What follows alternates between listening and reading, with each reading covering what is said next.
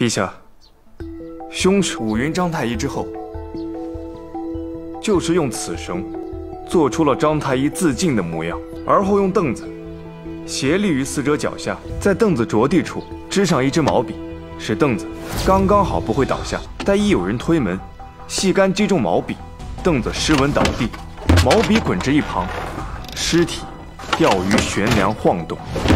哎呀，快救人呐！这便是二位医官当时看到的场景。你既已知凶手是如何行凶的，可也知道这凶手是何人喽？凶手煞费苦心设下此局，但此局有一致命的缺点，就是凶手在布置完机关之后，只能翻窗离开现场。而那晚，凶手翻窗逃离现场时，匆忙之间被窗上的一根木刺勾下了身上的一根丝线，这丝线。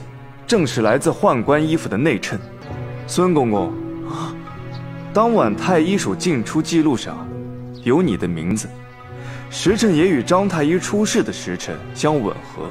陛下，凶手正是此人。